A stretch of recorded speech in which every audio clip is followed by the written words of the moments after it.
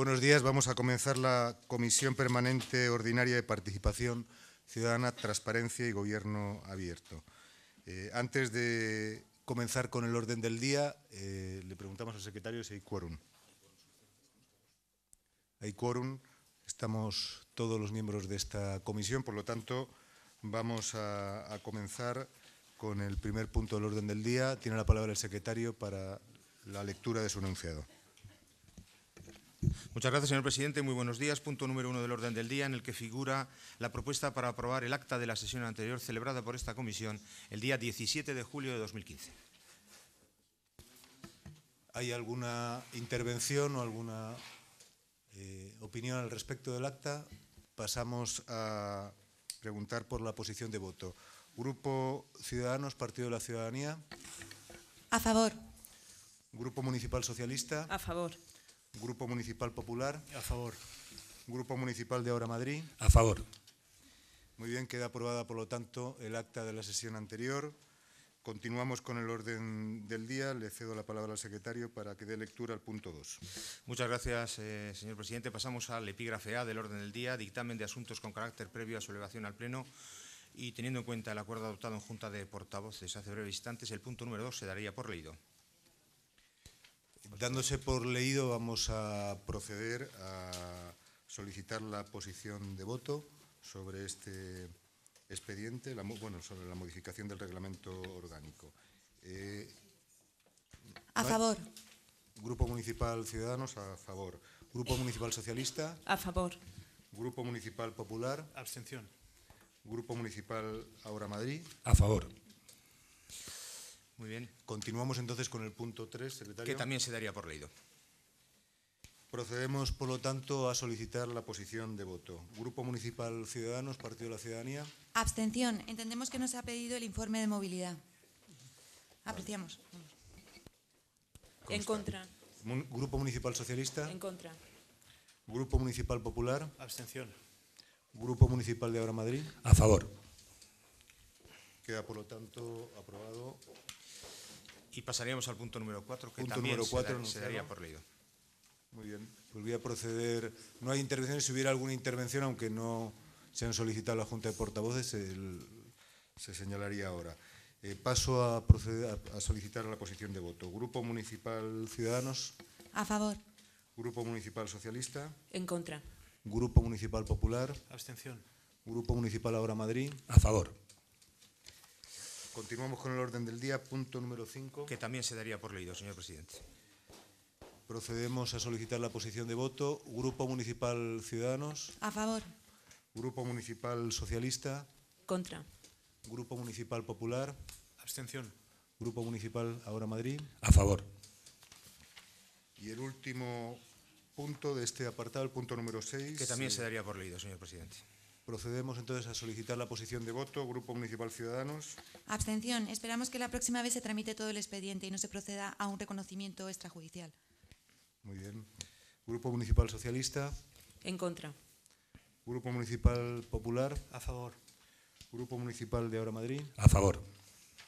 Muy bien, pues habiendo concluido este primer apartado, pasamos a la parte de información, impulso y control. Le cedo la palabra al secretario para que dé lectura del punto número 7. Muchas gracias, señor presidente. Efectivamente, parte de información, impulso y control, apartado preguntas, y en concreto la número 2015-0704, formulada por el concejal don Percival Peter Manglano Albacar del Grupo Municipal del Partido Popular, interesando conocer las actuaciones desarrolladas a través de la Unión de Ciudades Capitales Iberoamericanas en cumplimiento de la moción aprobada por el Pleno del Ayuntamiento relativa a los presos políticos en Rita. Venezuela. Rita, va va- ¿respondes tú o Luis? A tú. Vale, pues eh, por un tiempo de seis minutos, eh, para la, tres y tres, para la formulación de la pregunta, para la respuesta y si hubiera una réplica. Eh, ¿Va a responder Rita Maestre? Es que no teníamos que, que respondía otro compañero. Eh, tiene la palabra Percival Manglano para la formulación de la pregunta. Doy la pregunta por formulada.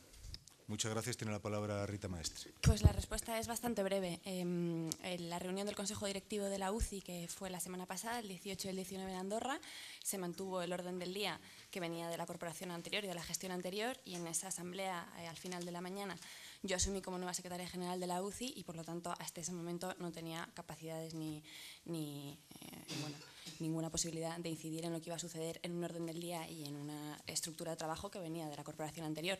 En la medida en la que ahora soy la nueva secretaria general y habrá cambios dentro de la UCI en la parte que, que tiene que ver con Madrid, pues a partir de ahí trabajaremos para llevar a cumplimiento en la UCI lo que los acuerdos del Pleno. Muchas gracias, delegada. Tiene la palabra Percival Manglano.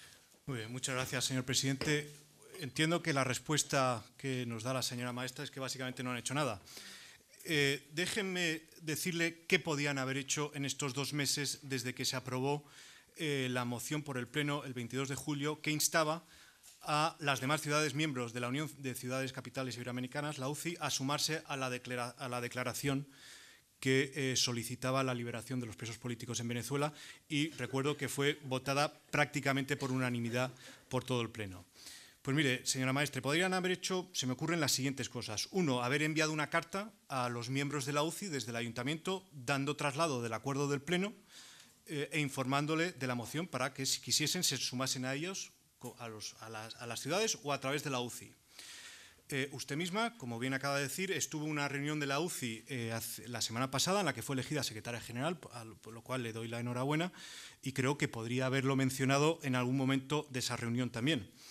Pero ha habido más ocasiones, señora maestre. Eh, la, la señora alcaldesa estuvo en Argentina en el pasado agosto y se reunió con el otro copresidente de la UCI, que es el alcalde de, Buenos Aires. Y por favor no me diga que eso fue un viaje privado y que por lo tanto no pudo hablar de esta cuestión, dado que la propia alcaldesa en su cuenta de Facebook dijo que es mi deber representar al Ayuntamiento de Madrid allá donde me encuentre. Es decir, si estaba ahí como representante del Ayuntamiento de Madrid, perfectamente podría haber hablado con el señor alcalde de Buenos Aires sobre este acuerdo que había aprobado el Pleno. pero es que hay más el, alcalde de, Montevideo, que es vicepresidente de la UCI, estuvo en Madrid la semana pasada, se reunió con la alcaldesa y también perfectamente podrían haber hablado de este acuerdo del Pleno. Con lo cual, la conclusión a la que llego, señora maestre, es que eh, no están cumpliendo con este mandato del Pleno con la diligencia debida. Y la cuestión no es solamente eh, la situación en Venezuela, que por supuesto es grave y se ha agravado eh, si tenemos en cuenta lo que acaba de ocurrir con el señor Leopoldo López. La cuestión también es eh, cómo se interpreta los mandatos, los mandatos del, del, Pleno del Ayuntamiento de Madrid aquí en este ayuntamiento. Le recuerdo, señora maestre, que el Pleno es el órgano de máxima representación política de los ciudadanos en el gobierno municipal y respetar la democracia es respetar la voluntad de los representantes de los madrileños, que implica que su gobierno esté sometido a las decisiones del Pleno y, por lo tanto, si el Pleno aprueba algo, que con diligencia lo pongan en marcha.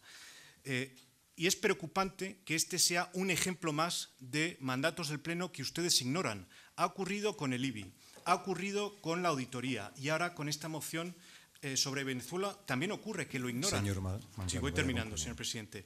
Eh, señora maestre, esto no puede ser, que al mismo tiempo que están eh, vanagloriándose de, fomentar la participación de los madrileños, ignoran completamente lo que acuerdan los plenos. Señora maestre, por favor, respeten las decisiones del pleno municipal.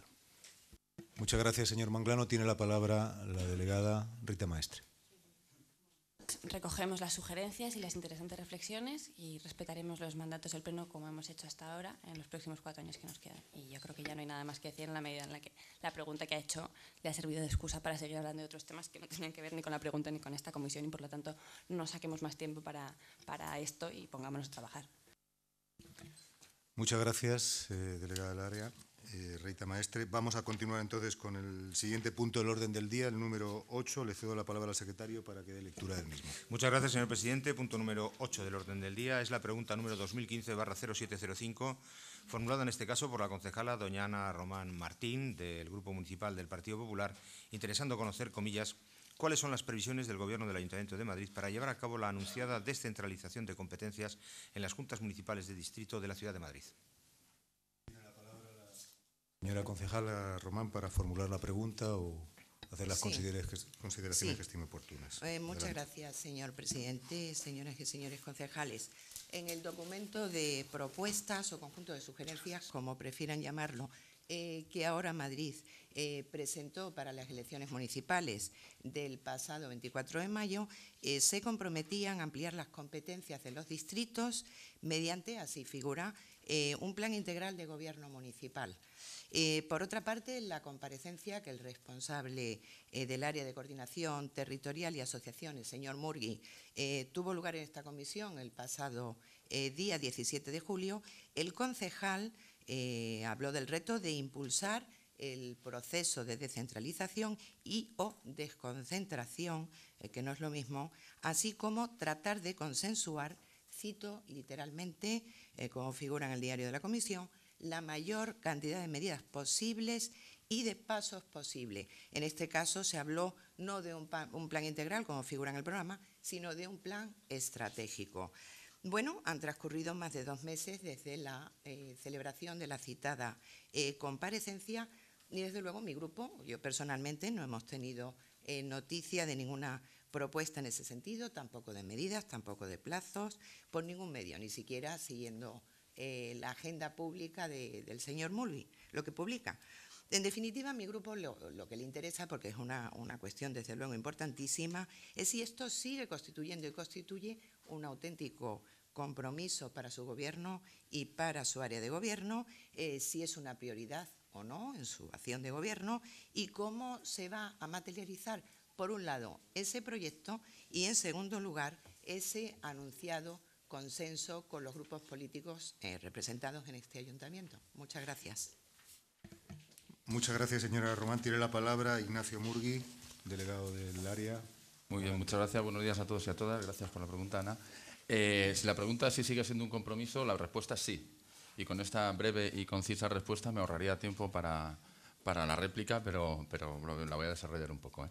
Eh, es cierto que es un compromiso y que es una prioridad y que tenemos que además ser firmes en esto porque después de 25 años de mm, recentralización eh, la tarea es ardua. O sea, volver a, devolver a las juntas municipales las competencias que durante 25 años se les han estado arrancando, pues es un trabajo de medio y largo plazo. Es decir, un, un trabajo que exige eh, no movimientos pendulares, sino que exige rumbos firmes y rectos. Exige consenso, como bien has dicho, eh, porque además entendemos que, tiene que ser algo eh, que perdure en el tiempo y que sea asumido por todos y, to- y todas las fuerzas por todas las fuerzas políticas, sobre todo habida cuenta de que están los programas y por lo tanto lo que vamos a hacer es efectivamente un plan estratégico que sí vamos a consensuar con todos los con todos los grupos políticos. Para ello se van a crear diferentes mesas de trabajo. Una de ellas va a ser una mesa política en la que participarán todos los grupos políticos que quieran hacer. También habrá una mesa técnica en la que estarán pues, los gerentes, estarán eh, para consultar a las juntas de distrito, gerentes, secretarios de distrito, eh, y también habrá, por supuesto, un nuevo órgano que se ha creado, eh, que es el Consejo Coordinador de los Dis- Distritos, que, bueno, que aspiramos a que sea un órgano colegiado que, y, que, bueno, y que ya está empezando a, a funcionar. Eh, tenemos que crear las herramientas, porque eh, digo estas herramientas políticas, porque no existían hasta ahora. Lo que existía, lo poquito que existía, se había desmontado. Se ha creado la Dirección General de Planificación y Descentralización Municipal, y a partir de ahí, pues ya digo, eh, crear las herramientas, hacer un diagnóstico de la situación, eh, consultar a los distritos, eh, ver cuál es la situación mm, tanto sociodemográfica como también competencial y organizativa de los distritos, para ver competencia por competencia cómo vamos a ir trasladándolas y devolviéndolas a las juntas municipales para, bueno, pues para que no hagamos una, una operación imprudente de llevar competencias y no llevar recursos y no llevar dinero, recursos humanos, capacidades concretas y bueno, pues todo ello con el objeto de acercar la administración otra vez, devolver la administración eh, pues a la gente. Y por supuesto habrá eh, los, los consiguientes procesos de participación ciudadana y de consulta ciudadana, que para eso también tenemos, tenemos elementos, elementos y herramientas preparadas para ello. Eh, entre tanto, eh, no vamos a estar parados, habrá que ir haciendo experiencias piloto, tanto en distritos como de competencias concretas. Yo me inclino a pensar que aquellas relacionadas con el cuidado de parques o con la, o con la obra en vía pública pues serían las más sensibles quizá, pero eso lo vamos a ver en esa mesa política y lo vamos a hacer de manera consensuada. En resumen, la voluntad de consenso, de consenso existe. Se está conformando un equipo eh, profesional que va a llevar a cabo todo el proceso para tener herramientas adecuadas para hacerlo. Eh, vamos a hacer eh, diagnósticos rigurosos que nos permitan hacer todo el proceso con rigor y teniendo en cuenta que queremos que sea un proceso de largo plazo y de hondo calado. Y, luego pues habrá participación ciudadana, habrá consultas, tanto a modo individual como a modo colectivo y experiencias pilotos. ¿eh? Y en las próximas semanas pues tendremos, os convocaremos a esas reuniones de estas mesas y de estos espacios de consenso. Muchas gracias. Ignacio Murgui, delegado del área. Tiene la palabra la señora Román. Pues le agradezco muchísimo su información, señor Murgui, eh, pero tiene que ser consciente que me ha hablado de futuro, no de pasado.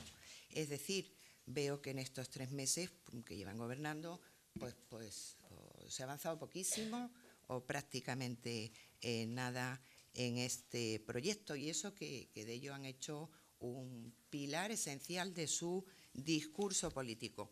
Eh, agradecerle su información, pero la verdad no me ha quedado claro si van a un modelo de mayor desconcentración, si van a un modelo de una auténtica descentralización perdón, de competencias.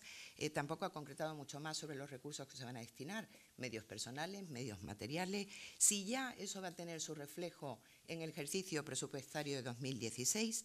Al hilo de esta cuestión, el otro día leía eh, con motivo del balance de los 100 primeros días de gobierno, eh, que participó todo el gobierno y usted con, la alcaldesa, destacó la creación de un fondo para el, el reequilibrio territorial ante las diferencias que usted dice que existen entre el sudeste de Madrid y otros puntos de la ciudad. Eh, realmente yo no sé si se trata de un fondo nuevo, eh, de dotar de mayor presupuesto a las medidas y planes especiales de inversión que ya existen y otras medidas en materia de reequilibrio territorial, o se trata de una previsión para este futuro eh, proyecto de descentralización. Desde luego, mi grupo político sí cree firmemente en la necesidad, y más en estos momentos, de avanzar en este sentido y ese fue el auténtico compromiso que adquirimos con los ciudadanos de eh, Madrid el pasado 24 de mayo. Eh, la verdad que esto es fundamental, continuar fortaleciendo las juntas municipales de distrito. Yo que tuve la suerte de ejercer como concejal presidente durante cuatro años y alguna experiencia eh, tengo en este sentido, eh, porque no solamente es un cauce importantísimo para potenciar, como usted también conoce, y avanzar en el proceso de participación ciudadana, sino también que es una mejora fundamental en la gestión de los asuntos públicos. Bueno, yo, esto es una cuestión, como todo, de voluntad política y de liderazgo político. Y para terminar, sin ánimo de ningún tipo de, de crítica, le voy a citar una frase en este caso del señor presidente, el señor Valiente. He leído aquí una entrevista muy, más que una entrevista, es un artículo muy interesante, Zona Crítica, el diario.es de 26 de marzo, eh, donde dice exactamente, eh, cito literalmente, la tengo aquí, cuando la izquierda gobernó, no sé a qué izquierda se refería, bueno, imagino será Izquierda Unida, Partido Socialista, gobernó la ciudad de Madrid, no tuvo la valentía de acometer la necesaria descentralización del ayuntamiento. Bueno, yo deseo que en esta nueva izquierda que ustedes representan sí tengan esa, esa valentía y ejerzan realmente ese liderazgo político. Muchas gracias. Muchas gracias, señora Román. Nos hemos sobrepasado un poco del tiempo establecido. Perdón, pido disculpas. Eh, no, teníamos eh, en, en, previsión comprar el reloj para organizarnos el tiempo. Les recuerdo que el tiempo para cada pregunta son seis minutos y que nosotros mismos nos organizamos.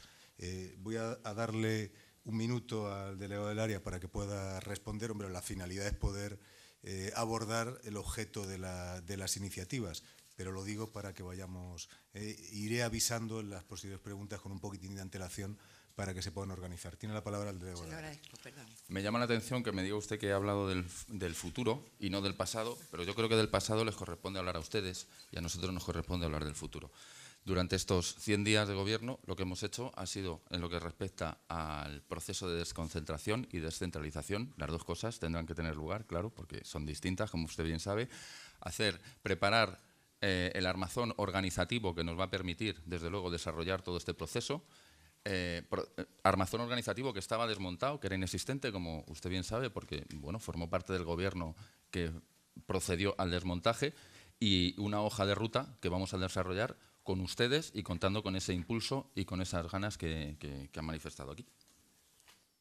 Muchas gracias, señor Ignacio Murgui, compañero. Vamos a proceder con el resto del orden del día. El punto 9 se ha retirado, eh, por lo tanto, abordaríamos el punto número 10. Tiene la palabra el secretario. Así es, muchas gracias, señor presidente. El punto número 9 ha sido una iniciativa que ha sido retirada por su autora y, por tanto, pasaríamos a conocer eh, la pregunta contenida en el punto número 10 del orden del día. Es la 2015-0731, formulada precisamente por la concejala doña Silvia Elena Saavedra Ibarrondo, del Grupo Municipal Ciudadanos Partido de la Ciudadanía, dirigida al delegado del área de Gobierno de Coordinación Territorial y asociaciones, interesando conocer si, comillas, piensa, conocer en, piensa poner en marcha nuevos planes especiales de inversión territorial. Muchas gracias, secretario. Señora Saavedra, tiene la palabra. Gracias, señor presidente. Doy por formulada la pregunta. Tiene la palabra el delegado del área. Muchas gracias. Como ya se ha mencionado en la anterior pregunta que, que nos hacían desde el Partido Popular, eh, para nosotros lo importante es el reequilibrio territorial, porque es cierto que decimos que hay un importante desequilibrio territorial entre los distritos del sudeste de Madrid y del norte, y lo que nos importa son los instrumentos. Teníamos hasta ahora los planes de barrio, que eran el nieto pobre de los planes especiales de inversión, que en su lugar se desarrollaron en Madrid, reconociendo una deuda que a nosotros también nos, parece importantísimo poner sobre la mesa esas deudas que tenemos con los, con los barrios y los vecinos y los distritos más, más desfavorecidos de la capital, y que en su momento se reconoció esa deuda también por un insigne miembro del, Partido Popular, Alberto Ruiz Gallardón, cuando gobernaba la Comunidad de Madrid, y a partir de ahí se empezaron a establecer los planes especiales de inversión. El nieto pobre, con el, en el marco de la crisis, fueron los planes de barrio.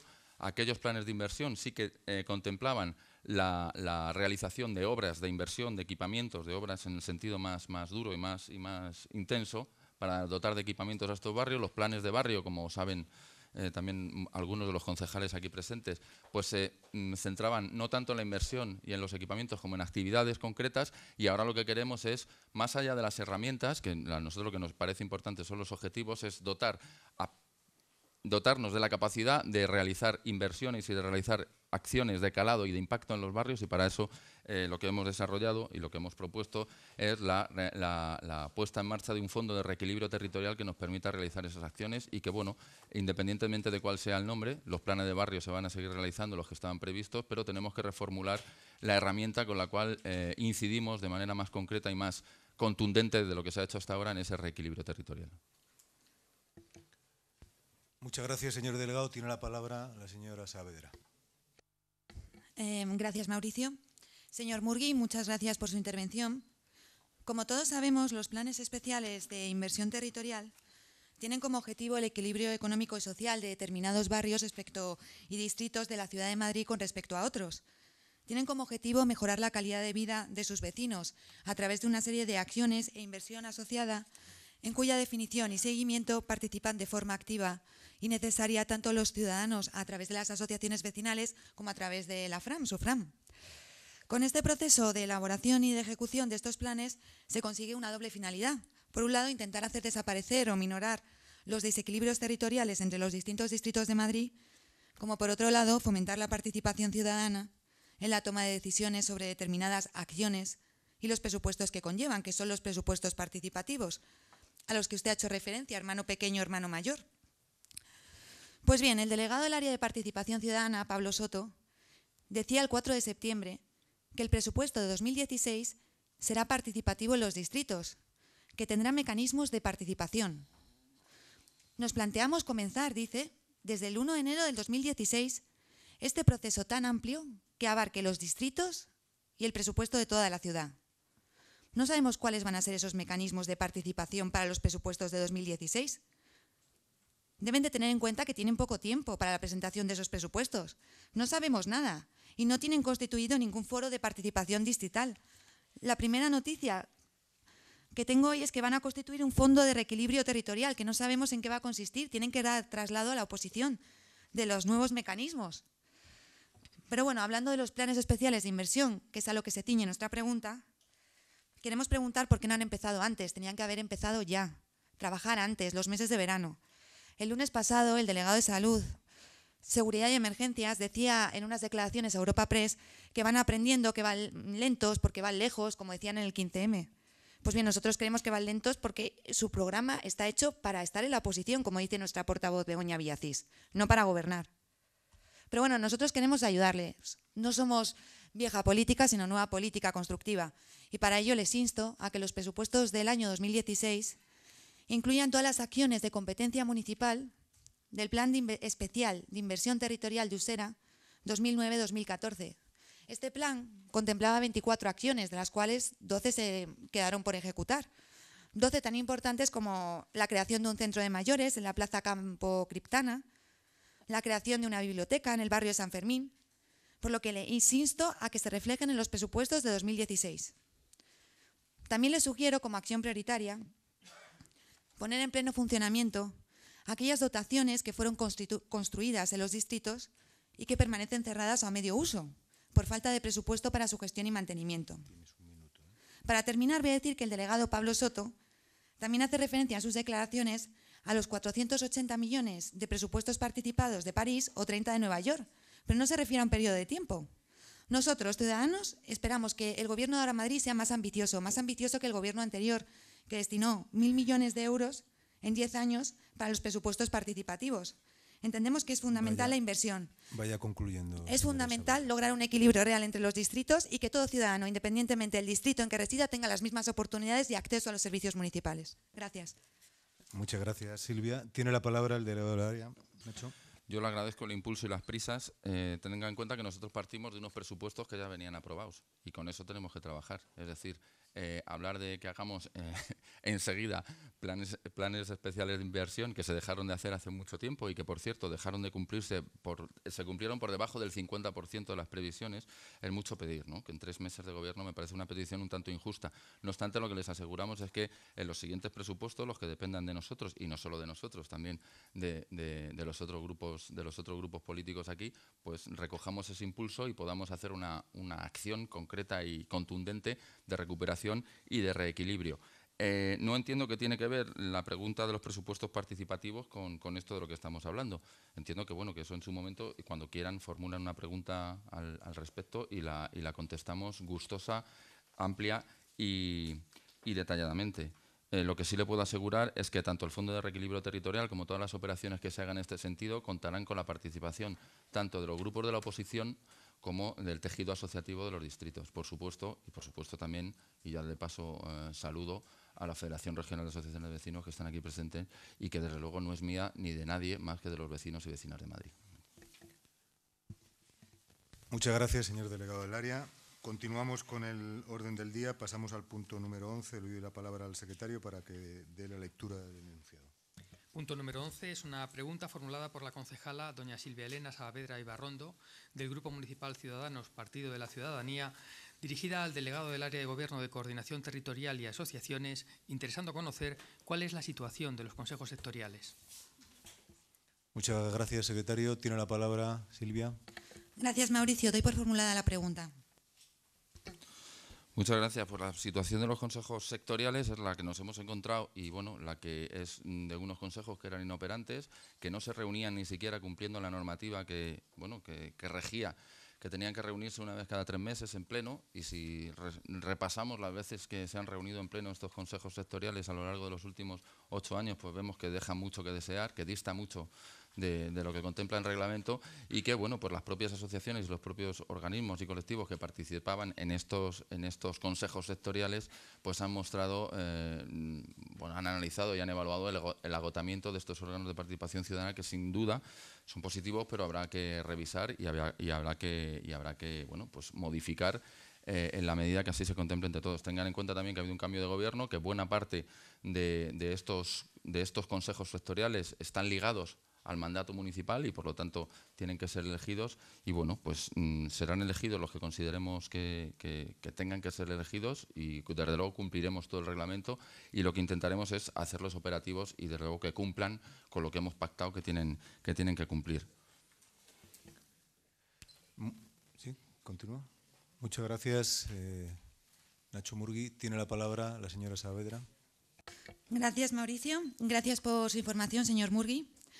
Como todos sabemos, nos interesamos por los consejos de participación vecinal, una modalidad, que son los consejos sectoriales, que, como define el Reglamento Orgánico de Participación Ciudadana, son órganos de carácter consultivo que canalizan la participación de los vecinos y las asociaciones en grandes sectores y ámbitos de actuación municipal.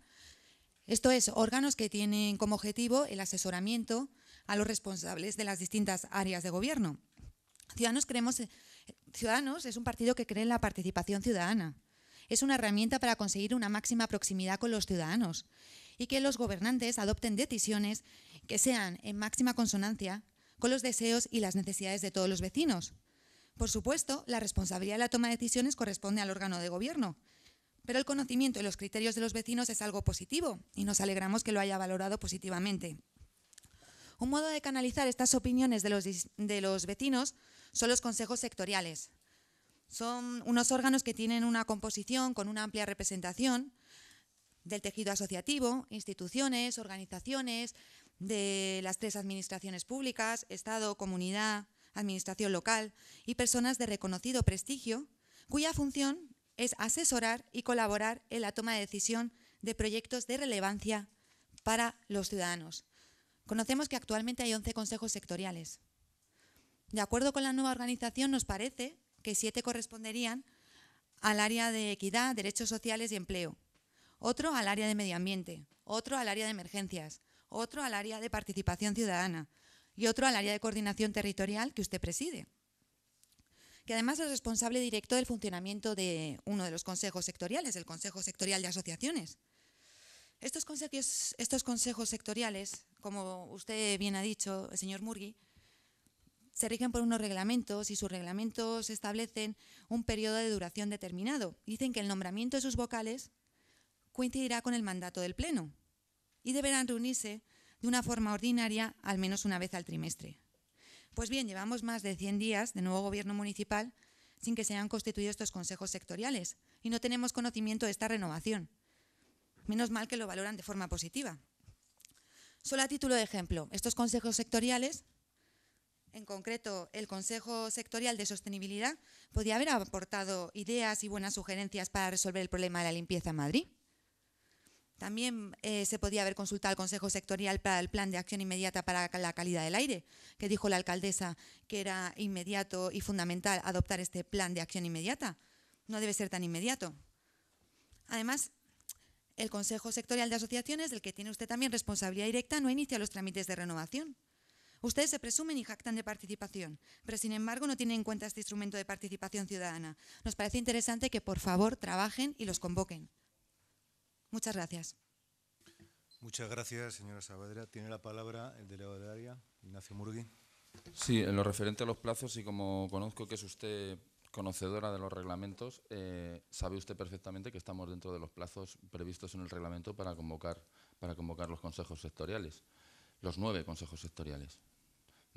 Y bueno, pues eh, dentro de ese plazo, mm, por supuesto, los convocaremos. Entonces no se preocupe usted por el tema de los plazos porque, porque cumpliremos. Luego, insisto, vamos a convocar y vamos a ser serios con esto. No vamos a emitir moneda así a saco para que luego no valga nada. Es decir, vamos a tener en cuenta, vamos a, tener en cuenta el valor de uso de estos espacios y, no solo su, proliferación más o menos decorativa. Muchas gracias.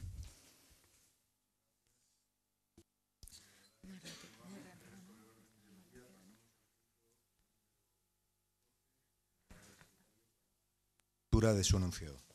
Punto número 12 es una pregunta formulada por la concejala doña Purificación Causapié Lopesino del Grupo Municipal Socialista de Madrid, interesando conocer cuándo tiene previsto el Gobierno municipal hacer públicas las declaraciones de bienes y renta de los miembros de la corporación. Tiene la palabra Pablo Soto, delegado del área. Ay, perdón. Hola, buenos días.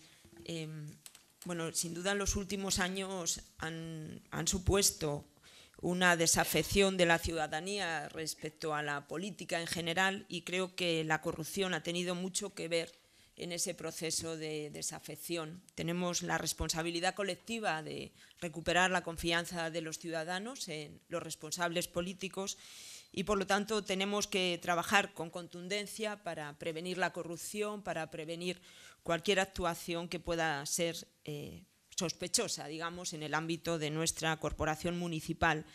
sin duda, los diferentes casos de corrupción han puesto sobre la picota, yo creo también a los responsables políticos, a muchas comunidades autónomas, ayuntamientos, eh, todo esto ha quebrado, como decía, la confianza en los dirigentes políticos españoles. No es ajena a esta realidad nuestra comunidad autónoma. Estamos viviendo en estos días una información, nos desayunamos cada día eh, con informaciones que tienen que ver con toda una trama de corrupción eh, llamada Operación Púnica. Eh, tenemos que, que, recordar que ayer el juez Velasco abre la tercera fase sobre la Operación Púnica. Tenemos que recordar que hoy tenemos un exconsejero declarando ante el juez, que tenemos otro exconsejero en la cárcel y que tenemos eh, muchos responsables políticos eh, bajo sospecha. ¿no? Por lo tanto, nos preocupa mucho esta situación, pensamos que tenemos que ser contundentes ante ello.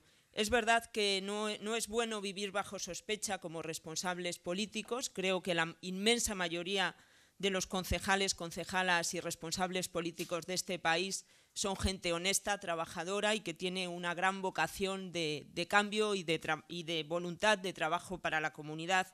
Por lo tanto, lo que tenemos que, hacer es trabajar para que esa realidad de la inmensa mayoría de las personas que nos dedicamos a la actividad política eh, y, esa, y esa buen hacer sea visible, sea visto por los ciudadanos y compartido por los ciudadanos. Creo que Debemos tomar medidas que tengan que ver con la prevención, además de, por supuesto, las actuaciones contundentes que deben ser llevadas siempre ante, la justicia.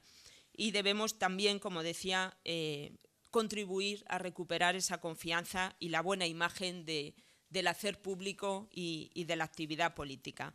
Em, sin duda lo que hoy estamos planteando y que, que me trae a hacer esta pregunta, que es la publicación de la declaración de bienes y de rentas de todos los concejales y concejalas responsables de miembros de la corporación municipal de este ayuntamiento no es algo nuevo en España. En otros ayuntamientos, en otras comunidades autónomas ya se ha hecho desde Andalucía, Extremadura, Castilla-La Mancha, desde Sevilla, Huelva, Alicante, existen eh, municipios eh, y, eh, comunidades, partidos políticos también, donde esto ya se hace. Creo que lo que hoy hacemos todos los concejales y concejalas es bueno que sea compartido e informado por la ciudadanía. Al fin y al cabo, la transparencia es una excelente herramienta para el hacer público y la información a la ciudadanía siempre es una garantía de, mejora de nuestra labor. Por lo tanto, quería, quería preguntarle cuándo va a llevar a cabo el Gobierno esta actuación que ya en su momento también pedimos y comentamos en esta comisión desde el Grupo Socialista. Muchas gracias, señora Causapía. Ahora sí, tiene la palabra el de la área, Pablo Soto. Ha consumido su tiempo, eh, lo respondemos del tirón. ¿vale? Muchas gracias, Mauricio. Y muchas gracias por la eh, pregunta, eh, señora Purificación. Em, efectivamente, estoy totalmente de acuerdo con usted en que es una responsabilidad común eh, y, por lo tanto estaría muy bien que nos pusiéramos todos de acuerdo, todos y todas, en, avanzar decididamente en, materia de transparencia, que es un regalo que le podemos hacer ya no a la corporación, sino a toda la ciudadanía que lleva exigiéndolo muchos años y siempre parece que las instituciones van en esto muy por detrás. Em, el reglamento orgánico del Pleno no recoge el modo, la forma en la que se tienen que hacer estas publicaciones, pero eh, la ley de transparencia y, eh, y, un párrafo concreto de la ley de bases de régimen local, que es, además de ser de mayor rango, son posteriores, eh, dejan absolutamente claro en, ese sentido que han de ser publicadas. Por lo tanto, nosotros vamos a hacer dos cosas. Por un lado, vamos a proponer una, proposición normativa para modificar el reglamento del Pleno, en los tiempos que, como ustedes saben, no, son absolutamente inmediatos porque, eh, bueno, por los propios eh, ritmos del procedimiento, pero eh, en el interim hemos presentado para, la para el siguiente pleno, ya, está presentada la proposición no normativa para acordar la publicación de la información de las declaraciones de actividades y de bienes que ya, que ya están en poder de, de la presidencia del Pleno, de la Secretaría del Pleno, perdón, en, formato abierto, en la web, o sea, bueno, el mecanismo para publicarlo y esto sería de, manera inmediata. Entonces, tenemos el martes este, este pleno, eh, el, miércoles, perdón, tenemos eh, el, pleno, la proposición está presentada, así que, pues, eh, como dicen, me alegro que me haga esta pregunta porque, porque me alegra mucho ver que estamos en sintonía en que esto es una cuestión que, que tenemos que resolver de manera inmediata. Muchas gracias, Pablo Soto.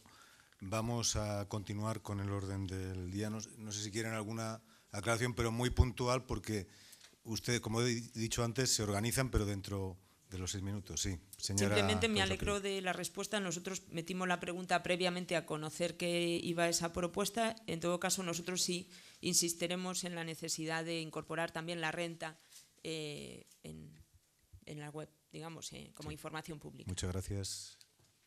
¿Correcto? Sí, correcto. continuamos entonces con el orden del día. Pasamos al punto número 13, señor secretario. Punto número 13 es una pregunta formulada por el concejal don Ramón Silva Buenadicha del Grupo Municipal Socialista de Madrid, interesando conocer qué competencias tienen previsto devolver a las juntas municipales de distrito en el curso político que estamos iniciando. Silva tiene la palabra. Muchas gracias.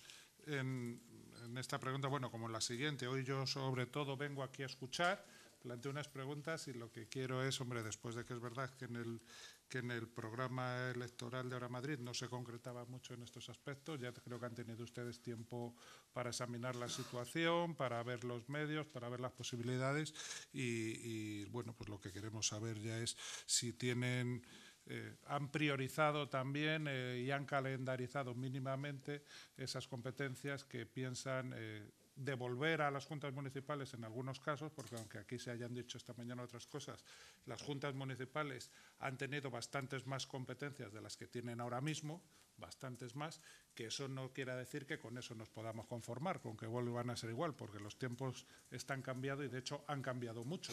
Y ahora mismo las exigencias de la, ciudad, de la ciudadanía en cuanto a participación y cercanía de la administración municipal son mucho mayores que hace unos años. También los instrumentos legales son mucho mayores que aquella ley del 63 con la que se encontró el Ayuntamiento de Tierno Galván Partido Comunista, no existe Izquierda Unida, y Partido Socialista Obrero Español. Muchas gracias. Muchas gracias, señor Silva. Tiene otra vez la palabra Ignacio Murgui. Vale, muchas gracias, Ramón. Eh, bueno, es cierto, las juntas de distrito en su momento llegaron a gestionar el 25% del presupuesto municipal, que ya es. Y creo que es una meta bastante razonable que nos pongamos, ahora bien, yo digo para este mandato, no para este curso.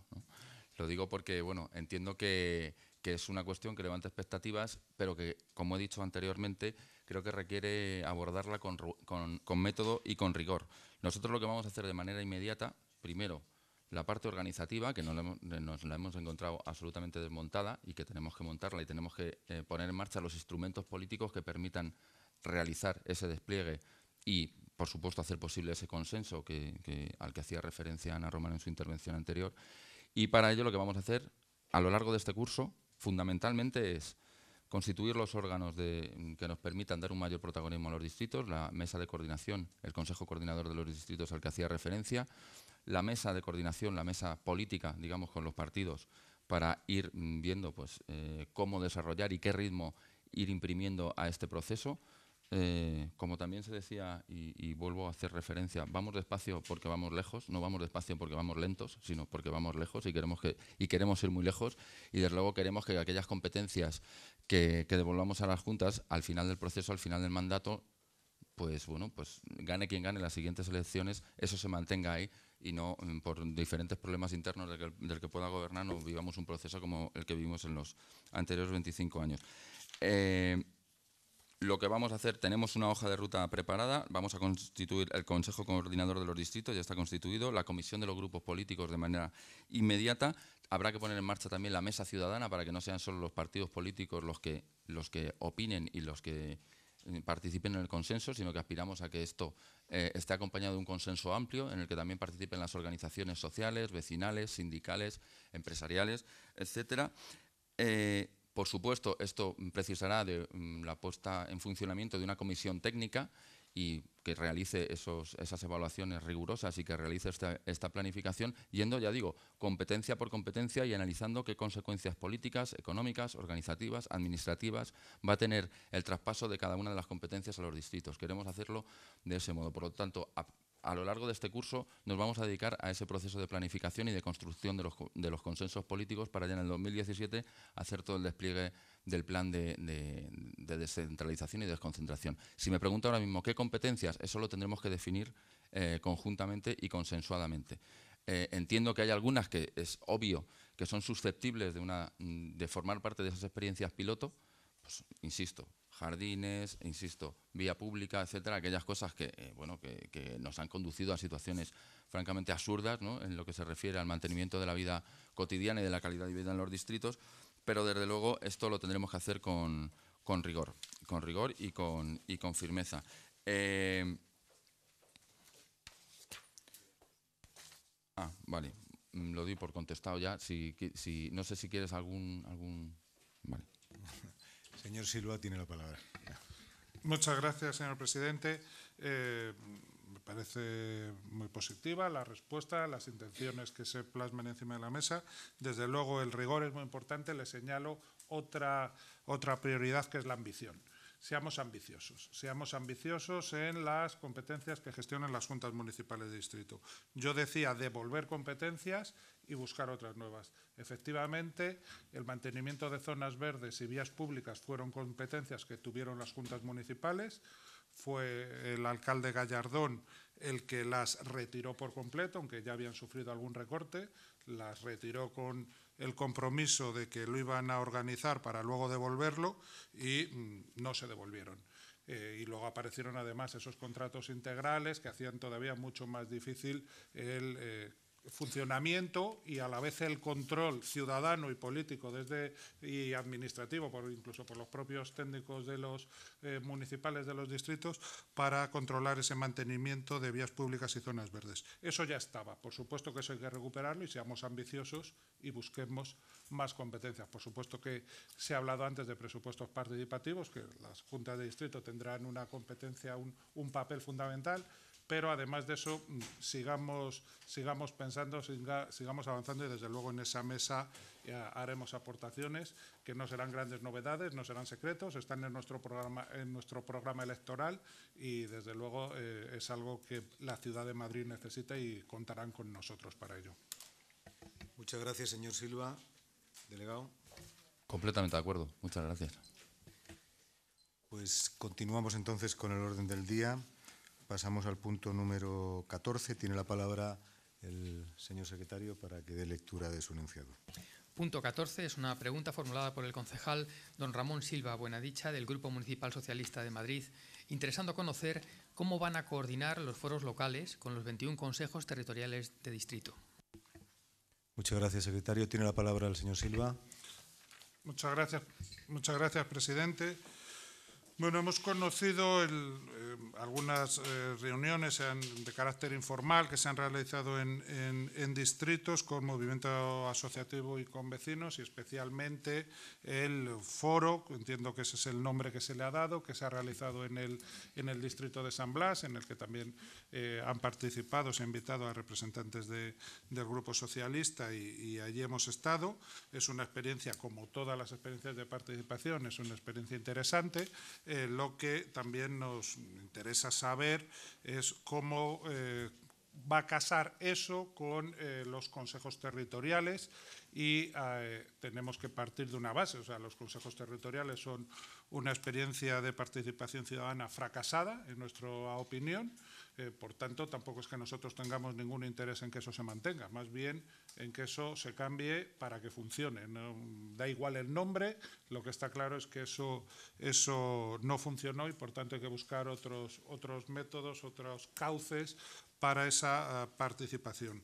Y bueno, puesto que, parece que hay un, no sé si un modelo piloto, una experiencia piloto, pues bueno, pues ver un poco cómo cuadra eso, si es que ese va a ser el modelo, si el modelo va a ser eh, unos consejos territoriales reestructurados, pues eh, conocer un poco ya eso, ya que empieza el curso, pues conocer cuáles son las, las líneas de actuación eh, que digamos con carácter ya un poco general en, en, todos y cada uno de los distritos de Madrid, pues nos, nos vamos a encontrar. Muchas gracias. Muchas gracias, señor Silva. Tiene la palabra el señor compañero Murgui. Gracias. Eh, bueno, los consejos territoriales quizá no me, no me extiendo mucho ¿no? en su evaluación porque está hecha y está recogida y yo creo que es mm, Vox Populi que bueno para lo que sirven, que es para bien poco. Yo siempre yo tengo por costumbre retar a quien quiera, a quien me habla de los consejos territoriales, a que trate de que le digan que no a algo en, un plazo menor a seis meses, no de que le digan que sí o de que le solucionen un problema, no de que le digan que no. O sea, que no se puede en menos de seis meses. Es, francamente, francamente difícil. Eh, para que nos hagamos una idea, la media de, los, de participación, la gente que ha participado en los consejos territoriales no llega a la mitad de lo que estaba previsto que participaran. Y los propios estudios, mm, la propia evaluación eh, que, encargó, que, encargó el anterior gobierno sobre los consejos territoriales, aparte de un montón de cuestiones relacionadas con la falta de voluntad política, con la confusión que había entre la participación ciudadana del movimiento asociativo o de la gente a nivel individual y los vocales de los partidos políticos, como que se habían politizado, como que se habían parlamentarizado, que aquello pues, incidía en cierta, en cierta confusión, decía entre otras cosas. El análisis documental de este informe eh, eh, evidencia una actividad que se aleja de los valores señalados en el reglamento de funcionamiento de los consejos territoriales de los distritos, es decir, las intenciones con las que se habían puesto en marcha mm, no corresponden la realidad que luego pues, se había podido desarrollar en estos, en estos consejos. Ya el propio movimiento vecinal en su momento emitía diferentes, diferentes resoluciones de asambleas en las que habían tratado el tema en el que bueno, pues, pues daban un poco por superado este modelo. Nosotros en la, en la dinámica que, que, bueno, que de algún modo eh, creemos que tiene que presidir nuestra acción de gobierno, que es la de gobernar escuchando, hemos puesto de manera inmediata ya organismos, efectivamente, experiencias más o menos informales de escucha y de participación. Algunos concejales también, ¿verdad?, habéis participado en alguna de estas experiencias y yo creo que precisamente Marta, concejala de, de, San Blas, es una de las, eh, de las mm, que ha llevado la vanguardia en este, en este, en este ámbito. ¿no? Y bueno, pues son experiencias que hemos venido a denominar foros locales, que son mm, bueno, lo que venía recogido en el programa, y que entendemos que son espacios que, como cualquiera que, entienda la participación ciudadana en un sentido profundo, deben de autorregularse. O sea, los órganos de participación ciudadana deben tener un carácter vinculante, deben estar ligados a, eh, a, un contenido material concreto, de ahí presupuestos participativos, gestión de espacios, de recursos, etcétera, y también eh, tienen que tener una dinámica de autorregulación, es decir, deben ser los propios participantes en estos espacios los que tengan capacidad para dictar de algún modo eh, los reglamentos y las normas que los van a, que los van a hacer funcionar. Eh, estas experiencias se van a generalizar, de algún modo ya se han generalizado, y lo que vamos a hacer es seguir poniéndolas en práctica. El modelo al que apuntan es muy parecido al de las anteriores, aquellos consejos sectoriales que, que se producían ya en las juntas de distrito eh, en un pasado ya que ya va siendo lejano y que desde luego habrá que adaptar a la nueva realidad mucho más diversa, mucho más heterogénea y compleja de la, de la realidad articulada socialmente de nuestros, de nuestros distritos. Eh, la manera en que, se van a, en que se van a coordinar con los consejos territoriales, hay una normativa que hay que cumplir mientras eh, no generemos una nueva normativa, los consejos territoriales tendrán su vida entendemos que será una vida poco intensa como ha sido hasta ahora y lo que entendemos también que eso no, no choca con la puesta en marcha de otros espacios de escucha, de participación que irán eh, articulando y dando forma a lo que luego más adelante con la participación de los vecinos, de las vecinas, del tejido asociativo y también de los partidos políticos se plasme en un nuevo reglamento de participación ciudadana. Muchas gracias. Muchas gracias, señor Murgui. Esta se da por respondida la pregunta. Continuamos entonces con el orden del día. Vamos ahora al punto número 15, ya pasamos a la, única comparecencia que, tenemos en esta comisión. Le cedo la palabra al secretario para que dé lectura al, enunciado de este punto del orden del día. Punto número 15 es una solicitud de comparecencia del delegado del área de Gobierno de Participación Ciudadana, Transparencia y Gobierno Abierto, interesada por el Grupo Municipal del Partido Popular para que explique todos los detalles del proyecto Gobierno Abierto de Participación Ciudadana puesto en marcha por el Ayuntamiento de Madrid. Muchas gracias, señor secretario. Los tiempos en este punto del orden del día son de cinco minutos iniciales para el, concejal que ha propuesto la, la, iniciativa. Responderá el delegado por 15 minutos y luego tendrán los grupos un turno de diez minutos cada uno. Tiene la palabra la señora Delibes. Adelante. Muchas gracias, presidente. Mm, bien, en la primera sesión ordinaria del 17 de julio eh, explicó usted su propósito de crear un plan de gobierno abierto que sirviera de modelo para todos los ayuntamientos españoles. Entonces nos adelantó las líneas generales de lo que sería su proyecto estrella de participación ciudadana, gobierno abierto. Desde el primer día del mes de septiembre hemos ido conociendo los avances realizados por la puesta en marcha de este proyecto Así vimos que la página de debate se abrió el día 8 de septiembre, la posibilidad de introducir propuestas fue, fue abierta el día 15 de septiembre. Después eh, también vimos que el 14 de septiembre el Boletín Oficial del Ayuntamiento de Madrid eh, publicaba un acuerdo del 10 de septiembre de 2015 de la Junta de Gobierno de la Ciudad de Madrid por la que se adoptaban directrices para el ejercicio del derecho de propuesta. Pues bien, después de escuchar los avances hechos en la prensa por todos ustedes y sobre todo por usted, la alcaldesa, sobre este proyecto necesitaríamos, y después de ver esta publicación, nos surgen algunas dudas que para eso hemos pedido su comparecencia. Lo que voy a hacer es eh, ir recorriendo esas directrices y replanteando las dudas que con respecto a ellas nos han ido surgiendo. En la, página de Rincón de Debates eh, vemos que está abierto a cualquier persona que desee participar en esa web de Gobierno Abierto y para identificarse basta con, con introducir el nombre y apellidos y un contacto. Bien, pues esta es mi primera pregunta. ¿Por qué esta página está abierta a cualquier ciudadano, sea o no madrileño y tenga la edad que tenga? En cuanto al apartado de propuestas al que se refieren las directrices adoptadas el día 10 de septiembre, vemos que se introducen a través de la misma web y que ahora se exige el documento nacional de identidad y el código postal y se debe esperar para votar a que el ayuntamiento envíe un código o, password, supongo. Bien, pues ahí va mi segunda pregunta. ¿Es inmediato el envío de ese código? Lo digo porque hay algún concejal nuestro que ha entrado y, no tiene código, o sea, no lleva esperando varios días a ver si consigue ese código. Después vemos que las propuestas quedan abiertas para recibir apoyos durante 12 meses y que podrán dar su apoyo los empadronados en Madrid mayores de 16 años. Bien, pues aquí va mi tercera pregunta. Para introducir la propuesta, ¿es necesario ser mayor de 16 años o esta condición es solo para apoyarla o no apoyarla? Después se pasa a una segunda fase y para ello la Dirección General de Participación Ciudadana dice que bueno, pues se encargará de filtrar, seleccionar las propuestas que puedan pasar a esa segunda fase. Para que una propuesta sea seleccionada, debe contar con un número de apoyos equivalente al 2% de los empadronados mayores de 16 años, que se calculan más o menos que son unas 53.000 personas. Y además el proponente debe dar su consentimiento, porque puede ser que resulte que lo quiere retirar. Bien, me parece bien. Se retirarán aquellas propuestas que, a juicio de los técnicos de la Dirección General, sean disparatadas, imposibles de realizar o reprobables por tener contenido xenófobo, insultante u otras cuestiones de este tipo. Con las propuestas seleccionadas se abrirá una nueva fase de debate que se mantiene durante 45 días. Se dice que para que la ciudadanía de Madrid pueda debatir sobre ellas. Bueno, pues ahí va mi cuarta pregunta. ¿Quién es ahora esa ciudadanía? ¿Son los empadronados mayores de 16? ¿Son cualquiera de los ciudadanos que entran en los debates iniciales o cuál es ahora esa ciudadanía? Cuando se pasa a las, eh, después del debate se va a abrir un plazo para apoyar o rechazar cada una de las propuestas. Se dice que de siete días naturales.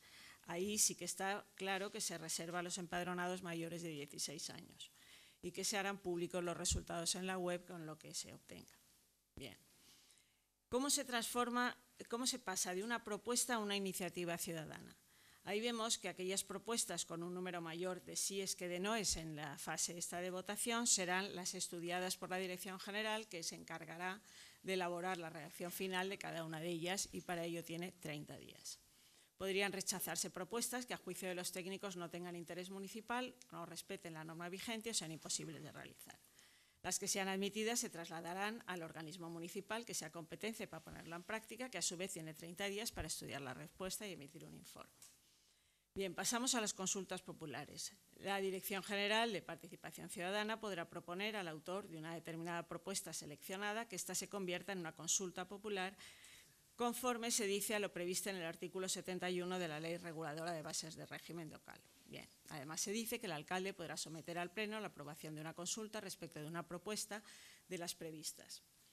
Bien, pues aquí va mi quinta pregunta. ¿Por qué se hace referencia al artículo 71 de la Ley Reguladora de Bases de Régimen Local y se pasa por alto lo que dice el artículo 70 bis, que establece el tipo de propuestas que pueden ir a consulta y el porcentaje de apoyo que ha de tener estas para que sean tomadas en consideración, que está en un 10% en el caso de Madrid?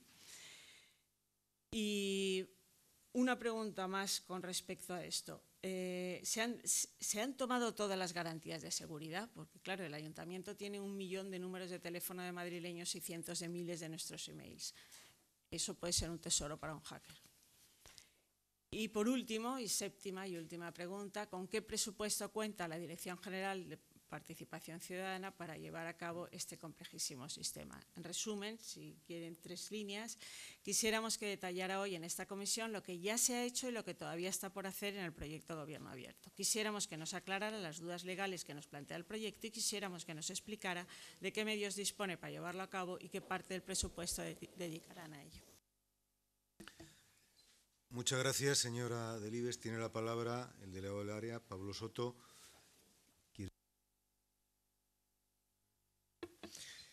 Sí, porque he anotado un montón de preguntas y al, finalizar eh, mis anotaciones creo que lo más eh, útil eh, a efectos de forma y, de, resolver cuestiones técnicas puede ser que emplee algunos minutos iniciales a explicar un poco el proceso, ¿no?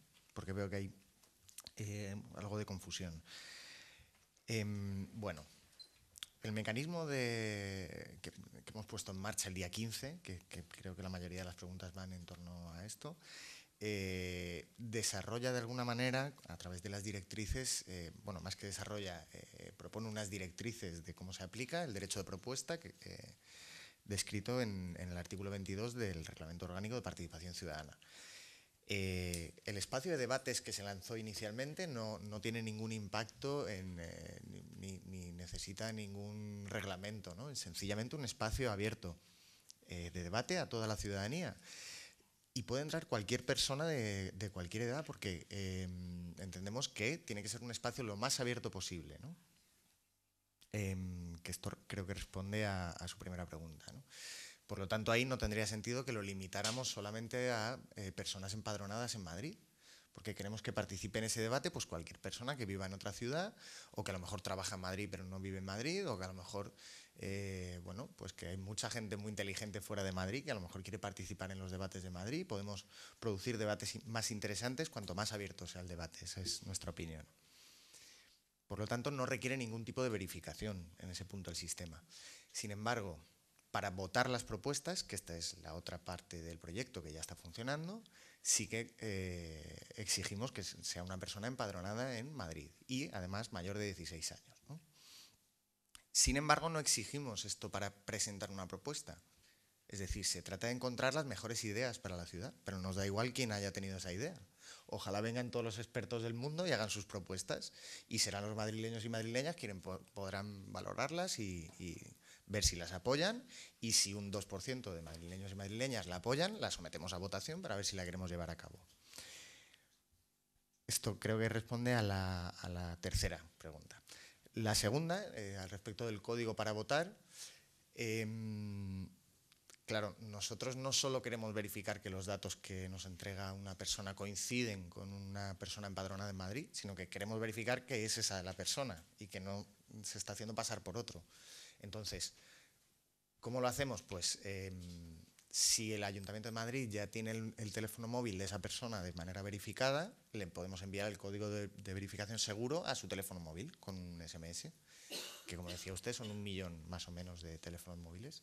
Si no tenemos tu teléfono móvil, pero tenemos tu email porque has hecho cualquier tipo de gestión del servicio de estacionamiento regulado o lo que sea, te lo mandamos ahí y si no tenemos verificado ni, eh, a, través de ninguna gestión ni el teléfono móvil ni el email, te mandamos un correo físico, es decir, un correo una carta por correo postal.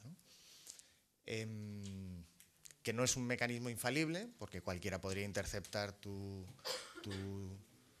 tu, buzón de correo, ¿no? Eh, lo que pasa es que es un delito, como sabes, mm, bastante grave, ¿no? y saldría muy caro eh, tratar de hacer un fraude con muchos votos. ¿no? Entonces no es un sistema infalible, tampoco lo es el sistema de votación físico de las urnas, eh, como sabemos. Eh, de lo que se trata es de que el fraude sea tan bajo como para que no tenga capacidad de incidir en el resultado de los procesos, punto número uno, y punto número dos, que se pueda medir de alguna manera el fraude para tener controlado eso. Entonces, si se cumplen esos dos criterios, el, proceso conserva las garantías. Hablaba usted de, filtrar. Em, ¿De quién filtra estas propuestas? No, es cierto que la Dirección General las filtre. Hay unos criterios que están eh, eh, en las directrices aprobadas, pero esos criterios eh, se remiten exclusivamente a la, legalidad de las propuestas, es decir, eliminar aquellas que tengan un carácter xenófobo, racista o de apología del terrorismo o fines delictivos. Ese es el, marco, o spam, ¿no? las destinadas a sabotear el propio proceso. No es un marco de em, oportunidad mm, o, buen parecer siquiera eh, de, las, de las propuestas, eh, porque eso son valoraciones políticas, ¿verdad?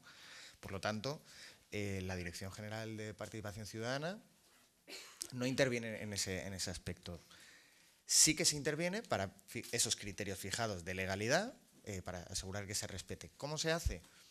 Voluntarios del Cuerpo de Voluntarios por Madrid, eh, que como saben es un cuerpo de voluntarios no adscrito a ningún partido político, de más de 10.000 voluntarios que acuden pues, tanto a a, eventos deportivos, podríamos decir, como a cualquier tipo de, acto que se, les, que se les pide ayuda, pues en este caso eh, están ayudando en la moderación. ¿Cómo lo hacen? Pues se les ha entregado, eh, se les ha formado con esos criterios, con esos criterios que usted tiene, que, que están aprobados por la Junta de Gobierno, y cuando ellos detectan una propuesta que sale de esos criterios, bien porque hace apología del terrorismo, bien, bueno, por cualquiera de esas cuestiones, la moderan. ¿Quién supervisa que los moderadores estén haciendo un buen trabajo y no eh, moderen cosas eh, que no entren en ese criterio? Funcionarios de la Dirección General. Pero es una labor de supervisión, es decir, eh, quien, hace la labor son los voluntarios y quien asegura que, esa labor está, desarrollada correctamente ante excepcionales aplicaciones incorrectas son funcionarios de la Dirección General. Eh, habla usted de, propuestas disparatadas. Como eso es un elemento subjetivo, mm, claro, nosotros solo podemos poner un criterio de legalidad, no podemos poner un criterio, porque a lo mejor lo que para mí es un disparate, para otra persona no lo es. Em, entonces, si, encaja en esos criterios de legalidad, pues adelante. El informe de la Dirección General eh, de Participación Ciudadana se hace en otra fase posterior, es decir, las personas presentan las propuestas, una vez que alcanzan el 2% de los apoyos, eh, se someten durante debate público durante 45 días eh, para que la gente pueda valorar si quiere apoyar o rechazar esa propuesta y se votan durante una semana. Y es con posterioridad esa votación cuando se hace el informe. ¿Por qué? Pues entre otras cosas porque si, la, eh, si el Ayuntamiento de Madrid, si, la Dirección General de Participación eh, quisiera tutelar con informes las propuestas, eh, eso nos acercaría mucho a una consulta popular eh, descrita en el artículo 71 de la, Ley de Bases de Régimen Local. y aquí lo que estamos haciendo es encontrar un ejercicio eficaz del derecho de propuesta que en su última o penúltima pregunta también volvía a solapar o confundir con la iniciativa normativa popular, que es esto del 10%. El 10% de apoyos eh, vienen eh, descritos en otro, en, otro, en otro punto de la legislación vigente, efectivamente, pero es que son cuestiones distintas. Una cuestión, un, mecanismo de participación ciudadana son las iniciativas normativas populares, donde cualquier eh, persona puede, con el apoyo del 10% del censo, presentar una normativa, una normativa eh, eh, y, otra cuestión es el derecho de propuesta, donde eh, bueno, cualquier propuesta se puede elevar a, valoración del Pleno o, del órgano competente, que son derechos distintos. Em, en cuanto al informe de la Dirección General, además de que es posterior a la votación, para lo que es útil y, su objetivo para lo que es es para eh, hacer un informe de viabilidad y del marco competencial, es decir, a quién compete llevar a cabo esta propuesta y cómo lo puede, cómo lo puede llevar a cabo. Entonces, la Dirección General de Participación coordina a todas las áreas, pues si es una propuesta que tiene que ver con movilidad, pues habrá que hablar con, el área de gobierno competente, diciendo, oye, pues esta propuesta eh, es viable y cómo se puede hacer, ¿no? es, eh, vamos, no, es, no se trata de modificar las propuestas, sino de eh, satisfacer eh, a la ciudadanía que propone esa, esa, acción concreta. Em, no sé si me dejo mm, cosas eh, fuera de, de, la respuesta. Mm, no, mm, no, sé si... Llevas nueve minutos, luego tienes otro vale, pues, turno. Si, si, si, quieren ampliar un poco más la pregunta o... No, yo, yo creo que está todo contestado. Pues muchas gracias, señor delegado del área. Ah, bueno, espera, perdón. Sí. Porque la pregunta era un poco genera, general, ¿no? Eh, es decir, yo aquí me he anotado de su intervención un montón de preguntas, pero eh, en, en, su pregunta hablaba de, del proyecto de gobierno abierto, que no sé si se refiere al plan estratégico o al portal de gobierno abierto. En cualquier caso, eh, podemos hablar de las dos cosas casi a la vez, porque pues eso, la, parte de debates la, eh, abrimos el día 7 la parte de propuestas la abrimos el día 15 y, eh, pues por ejemplo, los presupuestos participativos eh, los iremos abriendo, es decir, son, son partes de lo mismo. El, el, portal de gobierno abierto es la herramienta a través de la cual estamos habilitando la participación digital del plan estratégico de gobierno abierto que está en desarrollo. Que está en desarrollo. Muchas gracias, señor delegado. Pablo. Pasamos entonces eh, al turno de intervenciones de los distintos grupos. Tiene la palabra la señora Saavedra en nombre del Grupo Municipal Ciudadanos, Partido de la Ciudadanía. Muchas gracias, Mauricio. Buenos días a todos, que se me ha olvidado antes.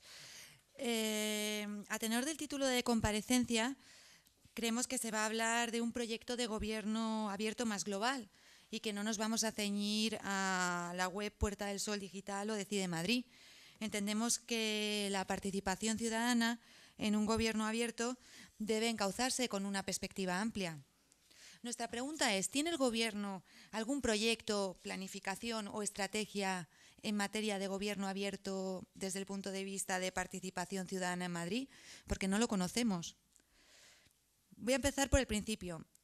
No nos parece bien la división de competencias de participación ciudadana en dos áreas de gobierno porque a nuestro juicio se está produciendo una especie de doble personalidad sobre una materia que es importantísima en un Estado social y democrático de derecho, como es la participación ciudadana.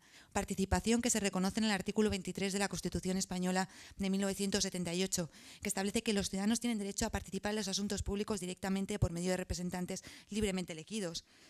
Pablo, usted se, encarga de, de la participación individual, Ignacio Murgui de la participación a nivel colectivo pues nos parece que no facilita una estrategia global de participación, de la participación ciudadana de nuestros barrios, distritos, ciudad, vecinos, FRAM, tejido asociativo.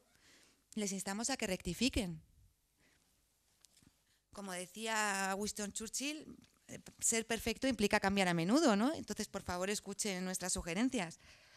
Por otro lado, usted, señor Soto, en la anterior comisión, que se celebró aquí el 17 de julio del 2015, hacía referencia a un programa más ambicioso de gobierno colaborativo y abierto y que iban a elaborarlo sobre los planes del gobierno anterior. Pero es que no sabemos nada de este programa, solo conocemos la web Madrid Decide y nada más. Tenemos la sensación de que no se ha avanzado. Por favor, comuníquenlo porque no, no, no, no, tenemos conocimiento de nada. Además nos preocupa el hecho de que una entrevista que se publicó ayer en Madrid Diario eh, decía que tardarán años en conocer el Ayuntamiento de Madrid. ¿Por qué? Si tiene a todo el personal disponible el Ayuntamiento de Madrid para que se lo explique, para que le haga accesible toda esa información, estructura, procedimientos, no lo entendemos. Bueno, un aspecto importantísimo y que nos preocupa es la modificación del Reglamento Orgánico de Participación Ciudadana. Este reglamento de 31 de mayo del 2004 lleva más de 11 años en vigor y entendemos que es manifiestamente mejorable. Y sí, instamos la modificación, por lo que si ustedes realmente quieren articular nuevos procedimientos y nuevas iniciativas de participación ciudadana, tienen que modificarlo ya. Se puede dar la situación de que ustedes creen un nuevo instrumento de participación ciudadana y luego el reglamento no lo contemple o lo prohíba expresamente, porque la aprobación y modificación de los reglamentos orgánicos es competencia del Pleno, artículo 123 de la Ley de Bases del Régimen Local de 2 de abril del 85. Entonces, tienen que empezar la casa por los cimientos y modificar el reglamento orgánico de participación ciudadana, con los demás instrumentos de participación también que habla el señor Murgui. Y además estamos a, su total disposición para hacer sugerencias en la modificación y no, le tendemos absolutamente la mano, no solo es crítica. Entrando ya con el asunto del mes de septiembre, la página Decide Madrid, Lo que denota claramente es que le gustan las webs, los portales. Nos parece bien que se utilice como instrumento de participación ciudadana, como una herramienta de participación respecto al derecho de propuesta. Pero este derecho de propuesta debe articularse adecuadamente y este derecho de propuesta, de acuerdo con el artículo 22 del Reglamento Orgánico de Participación Ciudadana, implica que todo ciudadano tenga derecho a que, la administración, a que la Administración dicte una resolución motivada en el plazo de 30 días sobre su propuesta. Y este derecho no lo van a cumplir, tal como está articulado el mecanismo. Por otro lado, Ciudadanos había presentado una pregunta para esta comisión que ha decidido retirar a tenor de esta comparecencia. Hemos decidido retirarla, aunque no obstante pretendemos incluirla en el orden del día del Pleno con nuestras correspondientes dudas y sugerencias al efecto. Pero vamos a dar unas ligeras pinceladas. Nosotros no creemos que sea algo novedoso utilizar este instrumento de participación ciudadana.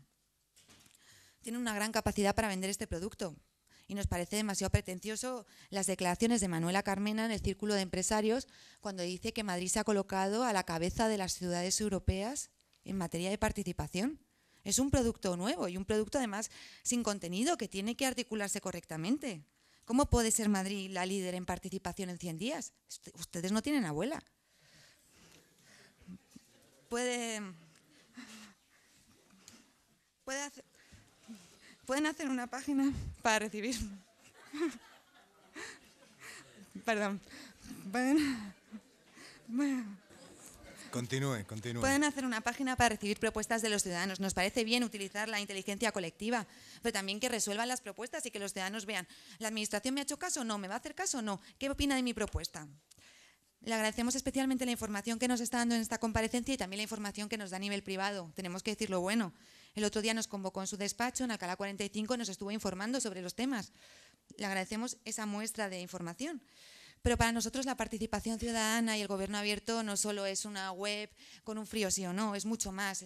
Tiene que ser un amplio espacio de debate, de mejora de calidad los vecinos, la mejora de la calidad de vida de los vecinos, una información fluida y veraz. La participación es importantísima, pero con información. Por ello, aprovechando nuestra intervención, queremos preguntar qué pasa con los instrumentos de participación ciudadana existentes. Como se solapa el área de participación como con el área de asociaciones, vamos a tratar los dos temas conjuntos. ¿Qué pasa con esos consejos territoriales de los 21 distritos? Eh, usted ha dicho, señor Murgui, que, mm, bueno, que no, no, funcionan bien. Efectivamente no funcionan bien, pero como quieran llamarlos, es un órgano de participación de los vecinos. Me da igual cómo lo denominen. Además, regúlenlo en el Reglamento Orgánico de Participación Ciudadana, que tienen que modificarlo. Pero bueno, ¿qué se va a hacer con este órgano de participación de los vecinos a través de las asociaciones? ¿Cuándo se va a convocar? También el problema de los consejos sectoriales. Le tengo que decir, señor Murgui, que el mes de agosto es hábil a efectos administrativos, por lo que no cumplen el plazo del trimestre. Entonces, son un trimestre, de acuerdo con el reglamento de cada uno de los consejos de participación.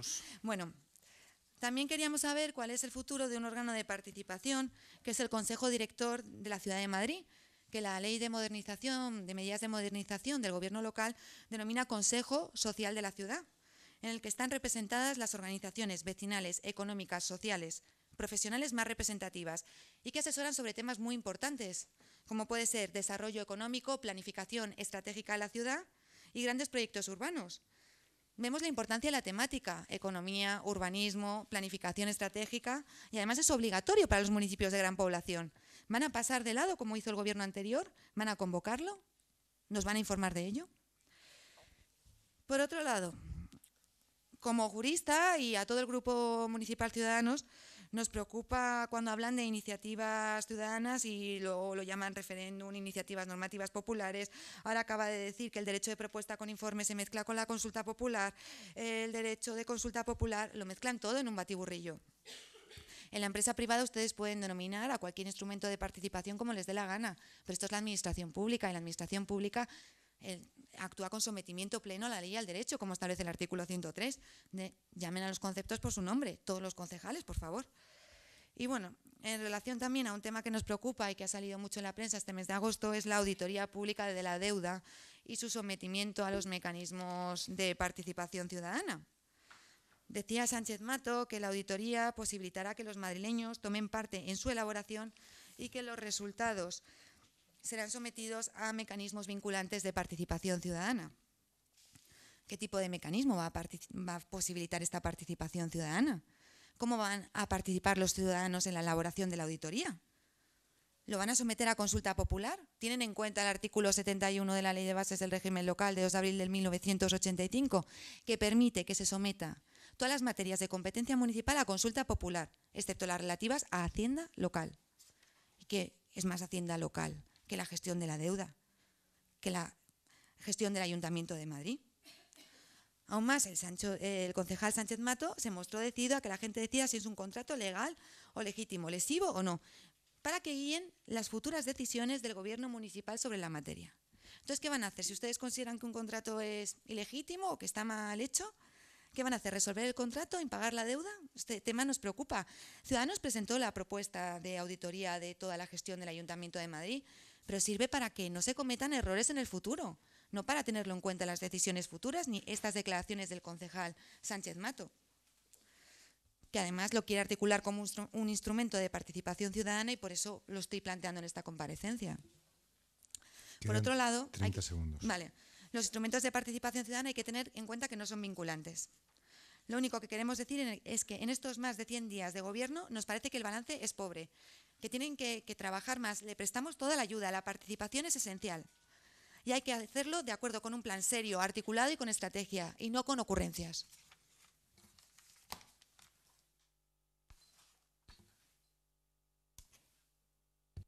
Muchas gracias, señora Saavedra. Tiene la palabra la portavoz del Grupo Municipal Socialista, señora Causapié, por tiempo de diez minutos. Eh, buenos días de nuevo. Bueno, la verdad es que nosotros no entendemos que cualquier instrumento que facilite la participación de la ciudadanía en las decisiones que pueda tomar este ayuntamiento nos parece, nos parece positivo, nos parece que son son instrumentos que profundizan en nuestro modelo de democracia, el modelo por el que apostamos, que sin duda eh, va más allá del hecho de la votación que hacen los ciudadanos cada, X años para elegir a los representantes de sus instituciones. Siempre hemos defendido un modelo donde la participación esté muy, presente. Bien, es verdad que yo creo que ahora estamos hablando de instrumentos de participación que nos sitúan en el debate sobre la participación individual de los ciudadanos eh, y que eso nosotros sí que entendemos que debemos combinarlo efectivamente con instrumentos de participación colectiva. Eh, estamos, además, yo creo, muy habituados a, a, tener interlocución con organizaciones sociales, culturales, vecinales, algunas están también en esta comisión, gente que yo creo que lleva muchos años trabajando por esta ciudad y por este país y gente que se merece, yo creo, toda la atención del Ayuntamiento de Madrid y, que no debe ver mermadas nunca sus posibilidades de interlocución y de participación porque nunca sustituyamos perdón, unos instrumentos por otros. Yo creo que eso tiene que quedar claro en todos los procesos que hagamos, eh, yo tengo que decir que a mí me da más miedo a veces este tipo de reflexiones, ¿no? la posibilidad de que puedan ser sustituidas ¿no? las organizaciones que trabajan en el día a día y que hacen un esfuerzo colectivo ¿no? por, plantear propuestas. Em, me da más miedo a veces eso que algunos debates que he oído últimamente sobre en relación con eh, la, web, sobre participación y transparencia. Creo que no debemos tener miedo a la participación, no debemos tener miedo a perder el control sobre las decisiones eh, políticas y las decisiones que se puedan tomar en esta corporación municipal. Eh, bien es verdad que creo que efectivamente creemos que hay que organizar el debate y la participación, sobre todo para que siempre responda a lo que quieren los ciudadanos, no para que haya grupos que, al ser más activos, puedan sustituir la voluntad de la mayoría.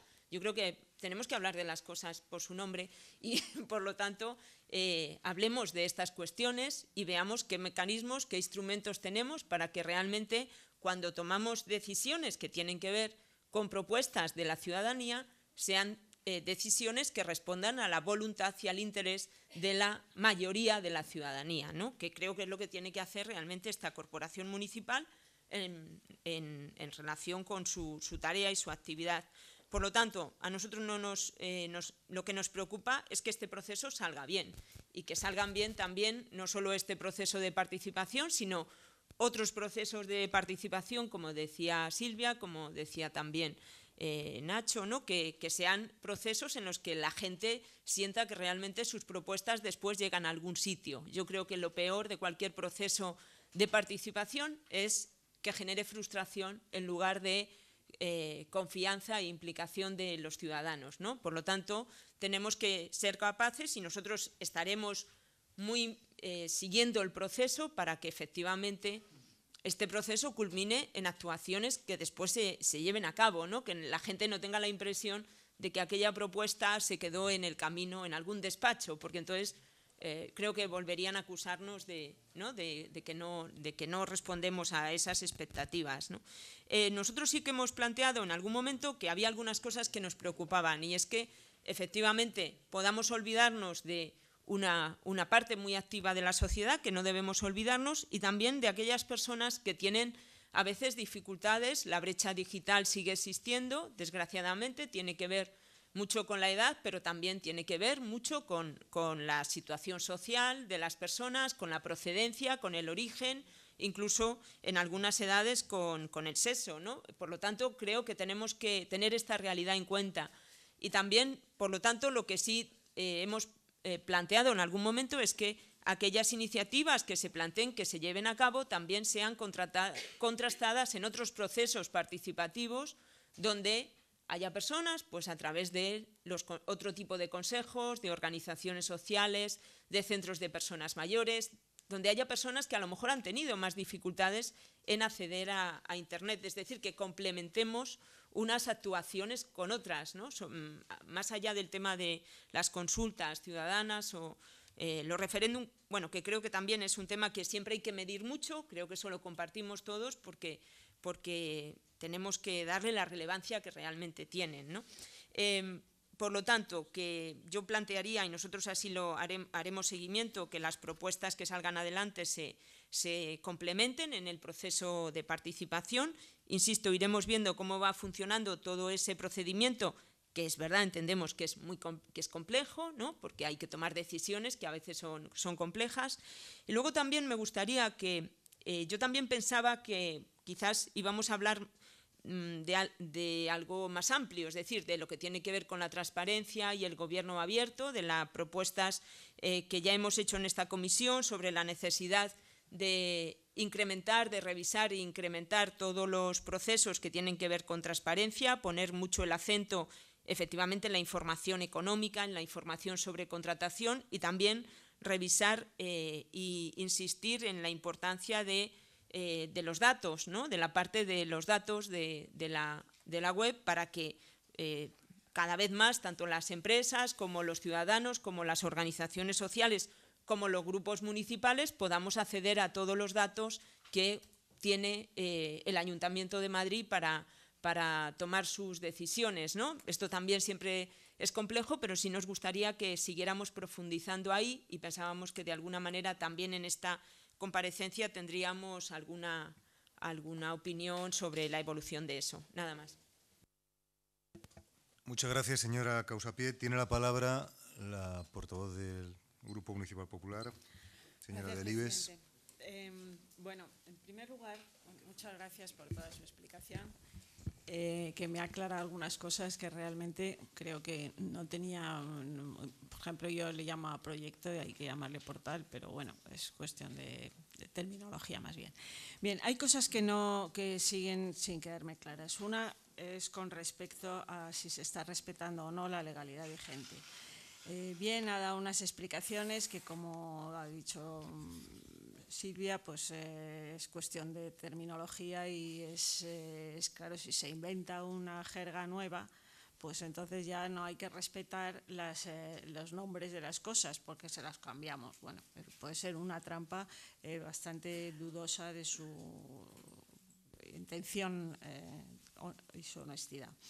Bien, pero yo, mm, si nos vamos nada más que a la Constitución, hay un artículo 149 en el que claramente dice que el Estado tiene competencia exclusiva sobre varias materias. En el punto 32 aparece la autorización para la convocatoria de consultas populares por vía referéndum.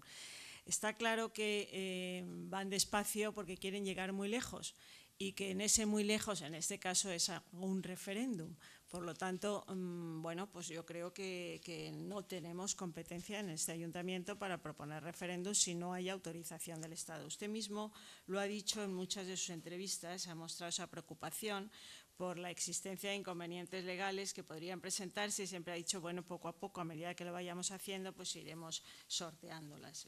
Bien, yo le quiero decir que desde mi grupo estaremos bastante vigilantes para que eh, sea subsanarlas, eh, no sortearlas, pero, eh, en fin, solo, solo le digo que el asunto nos preocupa y que estaremos encima de él. Después tampoco tengo muy claro que, se, que se, esté, se, no se vaya, a, se vaya a, bueno, a, cumplir siempre la ley de protección de datos. Ahí es muy estricta. Yo en los años que he estado en la, responsabilidad de gobierno de la Comunidad de Madrid, sobre todo en educación, es súper estricta. Eh, bueno, pues creo que lo tendrán que tener en cuenta porque eh, se puede bordear en muchos casos. Después hay un, un asunto que realmente nos, nos, nos, preocupa mucho. O sea, yo creo que cuando ustedes hablan de ciudadanía, a la que va dirigido este portal, y de, y de participación ciudadana, pues bueno, el término siempre encandila a la gente y le gusta porque piensa que somos todos, pero resulta que cuando se empieza a mirar un poco en detalle, pues claro, esto es una ciudadanía bastante restringida. Por ejemplo, mmm, según los datos del CIS que he estado mirando, el perfil del votante de Podemos es un individuo con estudios y edad comprendida entre los 18 y 34 años. Resulta que todos los estudios que yo he mirado sobre, sobre internautas, pues eh, también ese perfil, curiosamente, coincide con el usuario habitual de redes sociales. Por otra parte, he consultado también el informe internacional de telecomunicaciones que, se realiza anualmente y ahí hablan del de perfil sociológico del internauta. En la población española de 16 a 74 años, ya los mayores de 74 ni los tienen en cuenta, el 38% de los internautas tiene menos de 34 años, mientras que solo el 14,8% tiene más de 55. Bien, pues precisamente, según datos del CIT, del CIS, el mayor número de votantes del Partido Popular, partido al que represento, se encuentra entre la población mayor de 54 años. Bueno, pues su democracia real creo que es claramente discriminatoria con los 563.292 madrileños, un 34,55% que nos votó y a los que tenemos obligación de representar y defender. Eh, también sobre ese sesgo de población le preguntaron hace poco en una entrevista, no sé exactamente quién la hacía. La pregunta era, ¿cómo se consigue que no sean solo los militantes los que participen? A lo que usted respondía, eso es así si lo piensan desde una posición de contrapoder. Pero cuando lo haces desde el poder, es la misma institución la que abre los procesos participativos. En este caso, quien participa es toda la sociedad con una participación alta. Bueno, yo pienso que lo que usted quería decir es que la gente, al ser ustedes institución, confía en ustedes ahora porque tienen poder y porque representan la institución. Entonces, creo que muchísimo más cuidado deberían tener en cualquier procedimiento de consulta con los ciudadanos. Por otra parte, ustedes hablan de democracia real, pero este método, la verdad es que yo le llamaría una asamblea global. Eh, nunca en todos mis años he visto que haya más, algo más manipulable que una asamblea. A lo mejor una asamblea virtual es todavía más manipulable. Los debates en Decide.madrid son susceptibles de ser manipulados con mayor facilidad que una tradicional asamblea de facultad. No soy experta en, redes sociales ni en debates eh, por Internet, pero creo que en asambleas de facultad tengo bastante experiencia. Y, rara, era la asamblea que no estuviera absolutamente preparada y manipulada previamente. Usted dice que los técnicos de la Dirección General limpiarán la página de propuestas, eh, estas que no sabíamos muy bien eh, disparatadas o absurdas. Yo me cuesta creer que, eh, que van a ser completamente objetivos en ese terreno. Si usted le dice, pues en principio pues le creo y, y digo también trataremos de estar vigilantes en ese aspecto. Tampoco a usted se le ha escapado ese carácter asambleario de su proyecto, al que en alguna ocasión llamó Puerta del Sol Digital.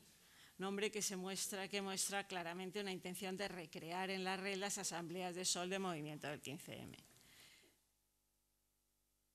Tenemos también la sospecha de que esta web, decide.madrid, pueda convertirse en un instrumento de propaganda del gobierno. ¿Cómo? Pues haciendo circular durante meses propuestas propias que en el sistema tradicional, diríamos, o parlamentario, pues a lo mejor no llevarían al Pleno, como por ejemplo, pues que quieren, eh, yo qué sé, suspender las corridas de toros. No lo dice este el equipo de gobierno, lo dice la ciudadanía. Y en la ciudadanía, pues a uno se le empieza a meter eh, mensajes y debates y todos los que son contrarios a los toros, que son mucho más eh, movidos o interesados o activistas o como quiera llamarlo que los, otros, pues acaben diciéndose que la ciudadanía pide que se quieren suspender los toros. Eh, por otra parte, yo estoy con, con, Silvia en que, en que, es una retórica exagerada al vender eh, este proyecto. O sea, es que la ciudad que quieres será la ciudad que quieras. Pues hombre, queda poco cursi a mi entender, pero eso es la austeridad castellana que me caracteriza, pero aparte de todo me parece un poco pretencioso. Y esto de que se trate de poner en boca de los representantes formales los deseos concretos de la ciudadanía, pues viendo también ya el proyecto en sí, pues hombre, es que, es que a mí que se diga que es toda la ciudadanía sigue pareciéndome pretencioso. O sea, yo diría, pues los que, no sé, fíjese que han tenido que reducir a un 1% para que eh, para que haya, yo sé, ya hasta ahora, yo lo que he entrado, pues hablamos de ciento y pico personas que, entran a debaten desde unos números, eh, bueno, no lo sé, 12 meses dan para muchísimo. Por propósito de los 12 meses, porque eso, o sea, durante un año, eso no tampoco lo entendido muy bien. ¿Es que el portal de debate se cerrará dentro de un año o es que las preguntas y las cuestiones quedan abiertas durante todo un año? Y se van a ir repescando durante ese año, se van a ir cogiendo o solo cuando ya haya pasado un año. Eso ahí yo tenía un poco de lío con esos 12 meses. Bueno, pues eh, lo que nosotros, hay una cuestión que nos preocupa todavía más que todo lo que le he dicho, y es esto de la democracia participativa. Eh, en todo este complejo de sistema de participación, creo, o creemos, o tememos, que sea un pequeño paso en un gran proceso que ustedes mismos han, han, calificado de revolucionario, por lo menos antes de tener responsabilidades en, el ayuntamiento, y que trata de sustituir el sistema democrático representativo por una democracia directa. Esto se lo preguntó el portavoz de mi grupo en la comisión, en la sesión de julio. Y usted dijo que no, que usted hablaba de un modelo de democracia participativa que permitiría la participación directa del pueblo en las decisiones del Gobierno. Nos dijo que era un mecanismo de participación que iba a mejorar la actual democracia representativa, pero que el pueblo puede en aquellas cuestiones donde no se ve correctamente representado tomar las riendas. Bueno, yo, mm, mire, creo que, que digan lo que digan y expliquen lo que expliquen, su modelo no es la democracia representativa, sino la democracia directa. Ustedes consideran que eh, los eh, representantes eh, elegidos democráticamente por los ciudadanos no representan. No es que este determinado consejero esté encausado en, en una cuestión de corrupción, no, es que el sistema es el que ustedes creen que no funciona y que hay que cargárselo. Nosotros estamos absolutamente en contra. Yo creo que el sistema se puede mejorar, pero no somos destructivos, somos reformistas, no revolucionarios. Gracias. Muchas gracias, señora Delibes. Tiene la palabra el delegado del área, Pablo Soto, por tiempo de diez minutos. Bueno, eh, ¿cómo vamos a querer cargarnos el sistema?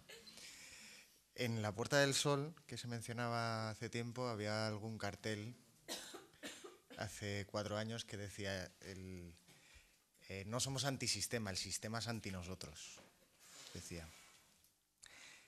Eh, realmente lo que estamos proponiendo son, en nuestra opinión, siempre mejoras al sistema, porque eh, podremos estar de acuerdo en muchas cosas, pero en que esta democracia representativa es el mejor de los sistemas posibles, mm, me va a permitir que lo dude, porque si acudimos a países de nuestro entorno donde las personas pueden de manera vinculante someter a sus representantes cuando estos no llevan a cabo actuaciones que responden al, sentir mayoritario, en esos sistemas eh, pues, eh, la, calidad de vida es mayor, es mayor, y la calidad del sistema democrático es mayor. Em, se ha hablado del portal de participación, eh, del portal de gobierno abierto como un producto. Y a mí esto me ha dejado helado. Un producto es lo que hacen las empresas. Esto es un trabajo que han hecho trabajadores municipales para el ejercicio de un derecho fundamental, que es el derecho de participación política. Esto no es un producto. Eh, también me ha dejado un poco helado que todo el rato se habla del portal como si fuera el, el propio derecho, el portal. No, Igual que el correo postal no es el derecho de voto. Eh, tú puedes ejercer el derecho de voto a, través del voto por correo, pero, eh, pero no es correos y telégrafos en sí eh, la autoridad de voto. por lo tanto, atendamos por un momento al mecanismo, que no es un mecanismo de verdad eh, ni asambleario ni peligroso. O sea, que en Suiza llevan desde 1848 haciendo esto regularmente y no se ha caído el mundo. No podemos hablar de Suiza como un sitio de mucho caos, ¿verdad? Eh, precisamente este mecanismo lo que hace es que esa manipulación, lo fácil que es manipular una asamblea, tengamos en cuenta que ahora mismo aquí nos estamos comportando casi casi como una asamblea y que el Pleno del Ayuntamiento también se parece bastante a una asamblea y que el Parlamento Autonómico de hecho se llama la Asamblea de Madrid y que ahí se toman muchas veces decisiones que no responden al sentir mayoritario de la población que dicen representar. Entonces, tengamos en cuenta que es imposible que las personas que estamos aquí encarnemos de manera total la voluntad popular. Entonces, que no nos dé miedo que se puedan manipular las decisiones políticas por la participación ciudadana, porque más bien lo que ocurre es lo contrario, que cuando es una pequeña minoría la que toma el 100% de las decisiones eh, es mucho más fácil que se tomen decisiones que no responden a los tres millones y medio de personas que, viven en esta, en esta ciudad. En cuanto a los miedos que se trasladaban en cuanto al marco jurídico, bueno, me remito a lo que hemos aprobado en la Junta de Gobierno, que no es un trabajo eh, eh, de, una tarde, es un trabajo que han hecho unos equipos jurídicos que, fabulosos que, hay en el ayuntamiento, todas las secretarías generales técnicas de todas las áreas de gobierno coordinadas, han intervenido juristas desde catedráticos de Derecho Constitucional, hemos hecho un, seminario eh, con incluso magistrados del Supremo aquí en esta, en esta, en esta casa, en la sede de Cibeles. Em, bueno, que, no nos volvamos muy nerviosos. Eh, no vamos a hacer todos los días referéndum porque no es la única vía de participación ciudadana al referéndum. El artículo 71 de la Ley de Bases de Régimen Local ya hace unas pinceladas de qué cuestiones no eh, caben dentro de, la consulta popular. efectivamente, una de ellas son las relativas a la hacienda local. Pero ¿es la única manera de participar en las decisiones públicas los referéndum? Yo creo que no han de serlo. Por lo tanto, aquellas cuestiones que encajen por su trascendencia y por su temática dentro del, referéndum, que es un criterio jurídico, no político, pues se llevarán a referéndum. Y las que no, pues eh, seguirán otros caminos. Y estos son criterios jurídicos, ¿no? Es una, no es una decisión política. Sobre que no son vinculantes las decisiones.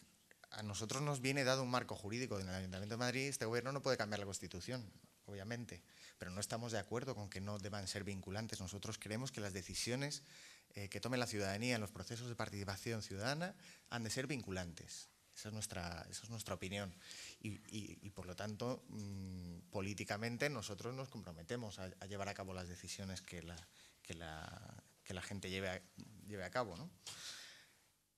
Eh, bueno, mm, había un montón de dudas o de o mm, de, preguntas en la intervención de ciudadanos que a, mí me transmitían un poco de, ansiedad ¿no?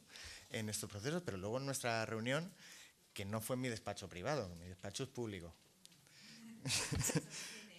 vale, vale.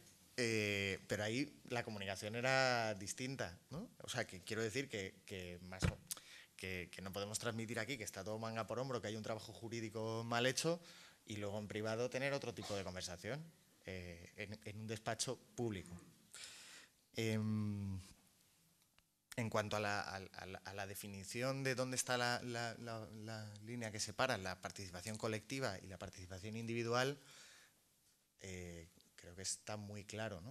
Eh, cuando se hace a través de órganos colegiados o de asociaciones o del tejido social asociativo, aquí representado por la FRAUN, es colectiva y cuando se hace de manera individualizada, como el ejercicio de un derecho fundamental individual, es individual. No hay mucho más que añadir. Em, en, cuanto a transparencia y gobierno eh, abierto, claro, eh, estos eh, mecanismos de participación que hemos puesto en marcha han barrido un poco el debate sobre todas las demás cuestiones, pero podemos abordarlas. En este momento estamos creando un equipo de funcionarios para hacer una auditoría no solo de la deuda, sino de la información que obra en poder del ayuntamiento. Es decir, vamos a hacer un censo de qué información tiene el ayuntamiento. Esto sería lo primero, tener un mapeo de qué hay. Y entonces a continuación empezar a eh, abrir a la, propia sociedad civil, estoy pensando en periodistas eh, de datos, que van a ser quienes más van a trabajar con los datos abiertos, para que sea la propia sociedad civil la que nos indique cuáles son las prioridades de apertura de datos. Esto es algo que ya estamos eh, llevando a cabo. Em, es en el marco de, este proyecto, de este, por un, lado, el plan eh, estratégico de gobierno colaborativo y abierto, que no lo hemos presentado, pero porque eh, vamos rápido, en mi opinión no vamos lento, vamos rápido porque vamos lejos, pero tampoco eh, podemos presentar eh, los mecanismos, aprobar las directrices, llevar eh, reglamentos orgánicos. Si, en reformar el reglamento orgánico de participación ciudadana, por mucho que nosotros queramos, vamos a tardar un año. Entonces llevamos tres meses. ya lo veremos. y, le aseguro que no será por voluntad política de este gobierno. Em, y un plan estratégico que aborde un, plan a muchos años, pues, pues claro, no, no, lo podemos tener en dos días. ¿no? Yo, creo que, tenemos un balance del 100 días de gobierno bastante positivo. Eh, es en el marco de ese plan de gobierno colaborativo y abierto donde van las otras dos patas precisamente del portal de gobierno abierto, que es el portal de transparencia y el portal de datos abiertos. Nosotros ya estamos liberando datos, hemos abierto eh, los datos de eh, los avisos, por ejemplo, que permiten mapear las incidencias que la propia ciudadanía nos, nos envía. ¿no? Eh, bueno, eh, estamos trabajando en, el primer borrador, se lo vamos a hacer llegar antes de presentarlo. Es decir, yo me comprometí y, mantengo ese compromiso de antes de llevar a la Junta de Gobierno el, plan estratégico de gobierno colaborativo y abierto, convocarles, trasladárselo y que, consensuemos aquellas cuestiones en las que podamos llegar a acuerdos. Pero que, bueno, que, tampoco mm, tengamos ahora un nivel de exigencia irrealizable, porque entonces eh, vamos a, puede parecer que queremos transmitir que no se está haciendo un trabajo cuando se está haciendo un trabajo excepcional, en mi opinión.